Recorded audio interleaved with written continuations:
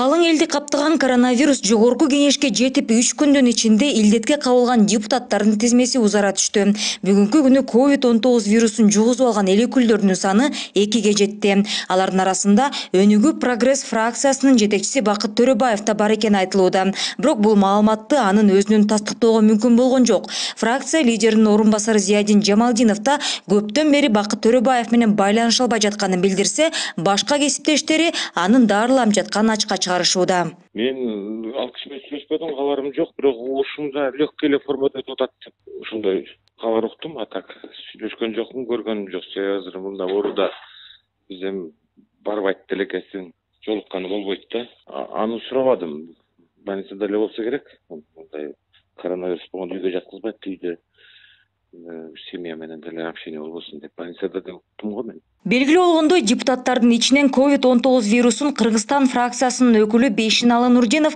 алгачкылардан болуп жугузуп алган. Ал илдетке кабылганын билген күнү кадимкидей эле жалпы жыйынга катышып ошол жерден өзүн начар сезип түштөн кийин үйүнө кеткени кабарланган. Ага чейин бейшеналы нурдинов бир катар кесиптештери менен байланышта болгонго жетишкен. Мындан улам эл өкүлдөрүнүн көпчүлүгү коронавируска карата анализ тапшыруу ниеттерин билдиришкен. Кийинчерээк кыргызстан өнүгүү прогресстен тышкары ксдп жана бирбол фракцияларынын депутаттарынын арасында да коронавирус жугузуп алгандар чыкты деген маалыматтар тараган. Бирок парламенттин басма сөз кызматы муну четке кагууда жогорку кеңештеги ошо соңку абал тууралуу дагы бул жерде маалымат алып турабыз. Соңку кырдаал боюнча эки депутат аппараттын үч кызматкерлери илдетти жуктуруп алгандыгы аныкталган. Алар үйүндө обочолонуп дарыланып атышат. Калган кызматкерлер калган депутаттардын көпчүлүгүнүн анализдери таза чыкты дагы деле тапшырып аткандар бар жогорку кеңештин ушул шаршемби жана бейшемби күндөрдөгү жыйындары демейдеги режимде өтмөкчү түз эфирде чагылдырабыз азырынча жогорку кеңештин депутаттары жана кызматкерлери вирусту кайдан илештирип алганы билине элек. Бирок мындай жагдайга карабай ак үй карантинге жабылбай турган болду. Журналисттер жана коноктор имараттын ичине киргизилбейт. Ал эми коронавирус боюнча анализ тапшырып жыйынтыгы оң чыккан эл өкүлдөрү кадимки режимде иштей беришет. Буга чейин он сегизинчи июнда парламенттин басма сөз кызматынын жетекчиси ибраим нуракун уулу санитардык талаптардын баарын так аткарганына карабай ковид он тогуз вирусун жугузуп алганын өзү айтып чыккан ал эми аны менен байланышта болгон жогорку кеңештин эки депутаты акылбек жапаров менен каныбек иманалиевдин анализи таза чыкканы маалым болгон учурда ибраим нуракун уулу токмок шаарындагы инфекциялык ооруканада дарыланууда аталган стационарда жатканына беш күндүн жүзү болду айтымында башында жөтөл кыйнап деми кыстыккан болсо азыр дарылануудан абалы кыйла жакшырып калган түндө эле ошол биринчи смен алмашты.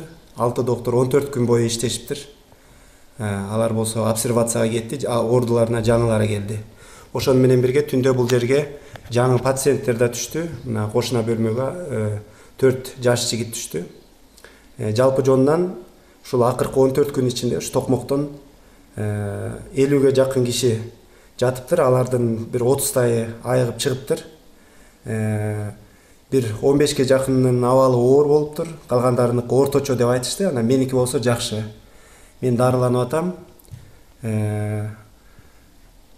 коронавирус деген өтө опурталдуу оору экен бул жерден көрүп атабыз себеби дегенде минутанын минуталардын ичинде өзгөрүп кетиши мүмкүн экен опурталдуу жака дем кыстыгып дем ала албай ошондой бир иммунитети төмөн адамдарга абдан коркунучу бар экен ошондуктан сиздер дагы сак болуңуздар жакындарыңыздарга эскертиңиздер ушул оорунун симптомдору пайда болгондо эле обочолонуп башкаларга жуктурбаганга аракет кылыш керек экен коронавирус инфекциясына чалдыккандардын катарында кала жетекчилери да бар. Учурда экөө ооруп жатат. Беш күн мурда он сегизинчи июнда жалал абад шаарынын мэри мураталы тагаев пцр анализ тапшырып анын жыйынтыгы ковид он тогуз вирусу бар экенин көрсөткөн. Азыркы тапта мураталы тагаев ооруканада дарыланып жатканы белгилүү болду.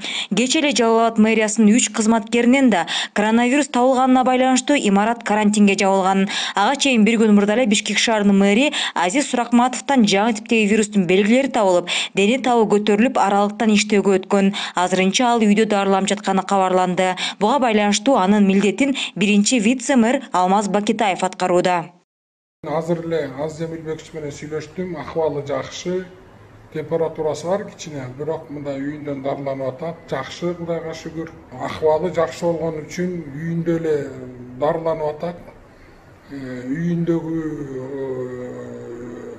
врачтар барып да берген дарыларын баарын колдонуп атат мына мэриядан да биздин акимияттан чыгып калды ленинский районунун акимиятынан андан кийин өзүмдүн мына зав отделим чыгып калды главный бухгалтерим ооруп калды зав отделим акыбалы орточо температурасы түшпөй жөтөлүшү жөтөлүп атат кичине кыйналып атат орточороок болуп калды кичине акимияттын мэриянын өзүнөн где то жетидей Jet işi de çıktı.